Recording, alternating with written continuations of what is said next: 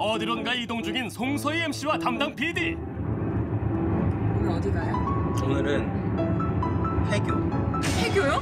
어디 어디 해결을 간다고?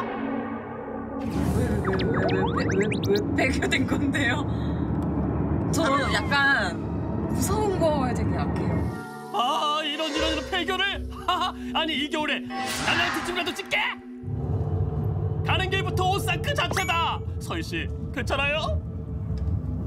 어, 길이 너무 안 좋은데요, 이거? 폐교 가는데 눈까지 내리고 아이고 오늘 이거 영 불안한데 여기가 해교예요?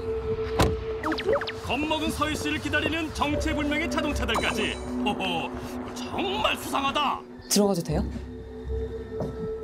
두려움에 떨면 문을 열어보는데 역시 분위기가 심상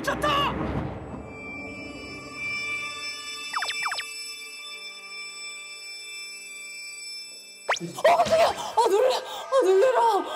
아 여기 여기 여기 뭐 하는 거예요? 아니 왜 교실인데? 여전히 남아있는 칠판 낙서들 그런데 책상은 온데간데 없고 책상 대신 테이블이 있다 헐. 아 이거 식당이었어요? 어? 교, 교실에서 웬 식당? 난 뭐한 거예요 지금? 아 이거 쌈밥집이었어요? 아니 교실에 웬 메뉴판? 낡고 오래됐다고 무시하지 마라 이제는 버려진 공간이 대세 작은 아이디어로 180도 바뀐 폐 공간의 변신을 지금 만나본다 전북 군산의 한 폐교 봐도 학교인 이곳이 지역 hot place로 다시 태어났다는데 사장님, 반찬이요! 쌈밥 4개요. 학교에 와서 쌈밥을 찾는 사람들 학교인 듯 식당인 듯 학교 같은 너 도대체 정체가 뭐니? 아니 예. 사장님 여기 도대체 어디예요? 이게 폐교를 이 개조해서 하고 있는 식당입니다.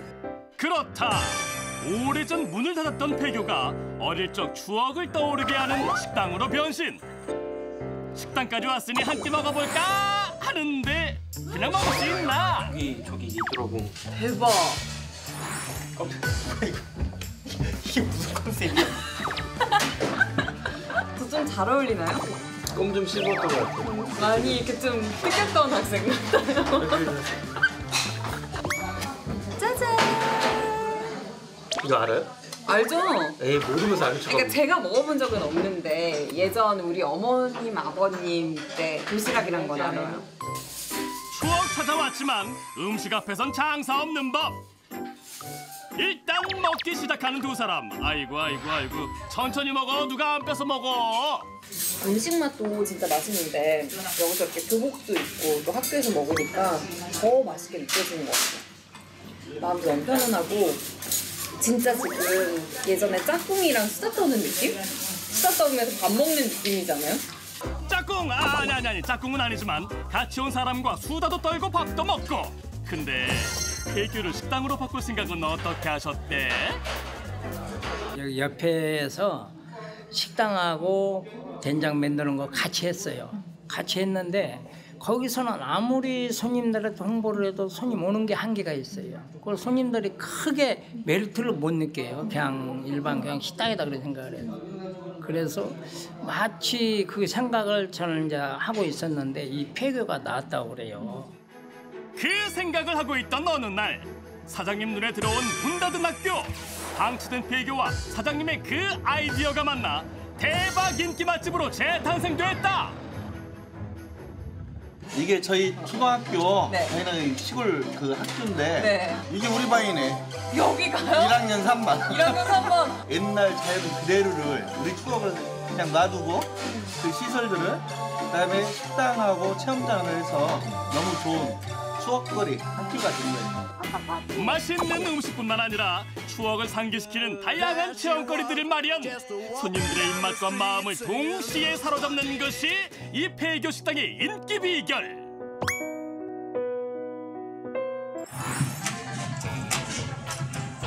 고장났나? 아, 네. 식당 같지 않은 이색적인 분위기로 손님 취향 제대로 저격했다. 사장님, 허허, 돈 많이 버셨겠어요? 작년에 우리가 한 10억 정도 했어요. 10억이요? 예.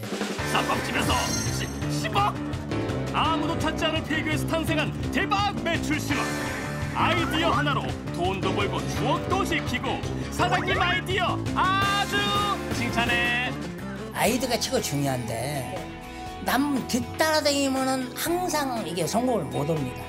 그러니까 남보다는 앞서갔기 때문에 이 정도로 왔다고 저는 생각을 하거든요.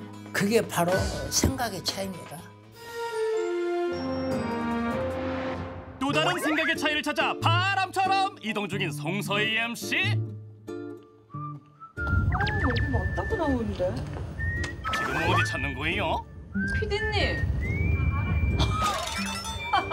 으라? 이건 또 무슨 시츄에이션?